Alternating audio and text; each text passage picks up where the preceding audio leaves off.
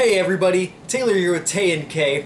We finally got moved into our new place, finally got everything set up, so I was finally able to, you know, reset up my lights, reset up my camera, everything like that, so we can finally start bringing you some videos again.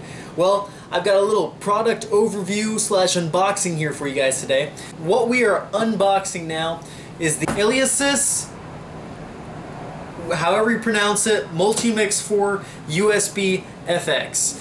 So, see it right here, we've got it. We'll check the box out, we'll tear it apart, see what comes inside, and we'll uh, hopefully get a little review of it as well.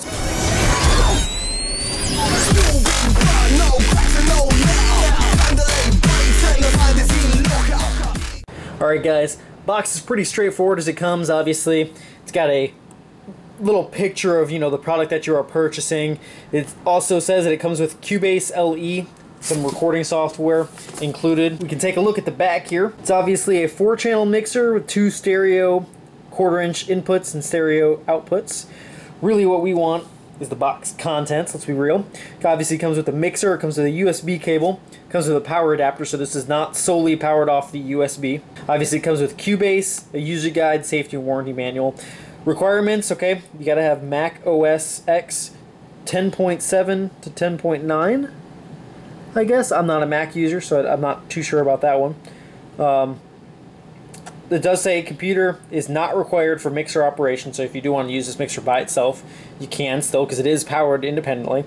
For PC, you got to have Windows 8 or Windows 7, so uh, nothing before that. Obviously, a little more product placement. Got a couple pictures. You can see the back of the board right there on the bottom. We'll obviously take a closer look when I pull it out. Well, that's it, guys obviously there's not a whole lot on the box, so let's tear this thing open and take a look at it. So obviously the first thing you always see, you got your manual, and obviously I think it's a comes with like a free download kind of thing. This isn't a CD, but manual and some Cubase manual. Got a USB cable. This is going to be your power brick. Yep, 18 volt power supply. And then obviously what you really care about is the product itself. So here we actually have the mixing board mixer itself. Obviously we can see we've got our four inputs, we've got our main out for left and right, headphones, you've got an auxiliary input on it. The cool thing about this one, this is the, by the way anyway, this is obviously being filmed in 2015, this is the newer version of the Multimix 4. This one has effects. You got flange, chorus, delay, halls, you can just click it and change it to whichever one you want. You got the LED lighting for clipping and volume levels. It's got all different levels right here, a headphone level, low cut for an 80 hertz signal. And this one you've got, you can change from guitar to line if you need be. Gain controls, you got all your different EQ levels, a pan levels, volume. Take a look at the back end of it. On the back you've got your phantom power switch if you need phantom power for certain, you know, condenser mics and the, the such. You got your input on off switch. Go hook this all up. I'm gonna get it all set up here in a minute and I'll use one of my mics I've got lying around and we'll uh, give it a shot and see how it sounds. Now we've got the mixer plugged into my computer, we've got it powered on, everything like that. I've got my Sennheiser E835S plugged in, the same as the 835, just has an on-off switch. Um, got that plugged directly into input 1. Got nothing else plugged into it, no effects. I don't have any effects running on my computer. It's just a straight shot of Audacity. No compression, no any post-production, nothing. It's gonna be the straight audio. This is just my headphone so I can hear what's going on because this is technically acting as my both recording in and my sounds coming out of my computer right now. So I'm going to do a couple tests of comparing it to my built-in camera audio, test my Sennheiser plugged in, I'm going to do my webcam audio, and I'm going to do my Turtle Beach built-in microphone audio just to show you different comparisons of what kind of sound you can expect to get from certain devices and why I can probably promise you right now that the audio that you're going to get from the Sennheiser or any you know just decent microphone into the mixer is going to be a hell of a lot better than the audio off my camera, webcam, or the Turtle Beaches. So let's switch over to the computer side of things and let's take it from there. I'm currently recording with my Logitech C, was it 270, 290? Um, I think it's 270, 270 webcam. This is the audio straight from it. This is, there's no boost on the microphone. As you can see, this is the, uh, I guess there's a little bit of one. I think it comes at, comes at stock at five. this is the sound that you're to get. It, I sound extremely far away. And let me add some boost to it. And I'm still to sound far away, but it's just going to be amplified noise. So let's go ahead and switch over to my Turtle Beaches now. Okay, now I'm using my Turtle Beaches built-in microphone straight into the mic in on my computer, which is down here. Obviously, you can now hear the difference in audio between the last, which would have been the webcam, and before that, which would have been the camera speakers. Now, obviously, with the camera speakers, you, you do have distance no matter what, but you can always hide a microphone just outside of the camera's view. Well, so you can hear this. This is the standard. Let me turn it up a little bit. It's probably just going to sound louder and louder until it's just annoying.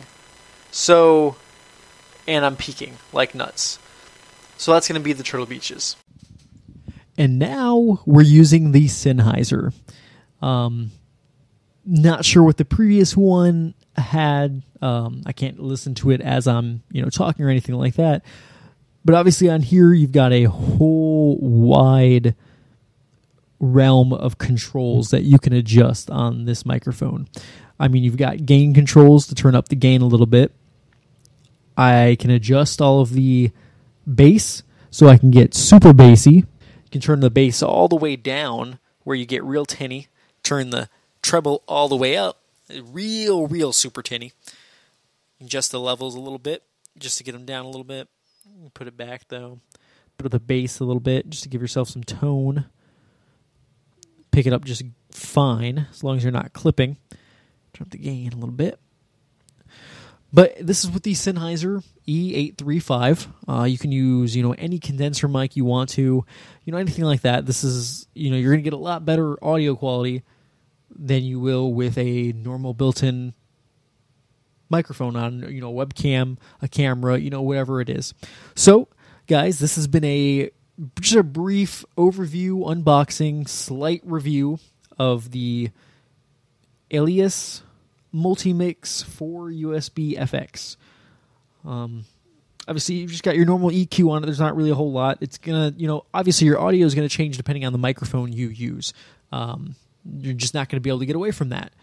It's all going to come down to what microphone you use, how you set up your EQ, but the concept of plugging it into your computer is all going to be the same thing and this allows you to obviously use, you know, a microphone, you know, on an XLR cable a lot easier than another one and this option versus just going out and buying a USB microphone also allows you to use multiple microphones instead of just one. So guys, I appreciate you guys watching. Stay tuned for more. Uh, you can catch us on Twitch TV at Tay and Kay. Uh, obviously, you can check us out here on YouTube. We're gonna start getting a lot more videos up now that we're all moved in and set up and everything like that. So, you know, I appreciate you guys watching. Obviously, subscribe if you want to see more and you know get updates when when we release new stuff.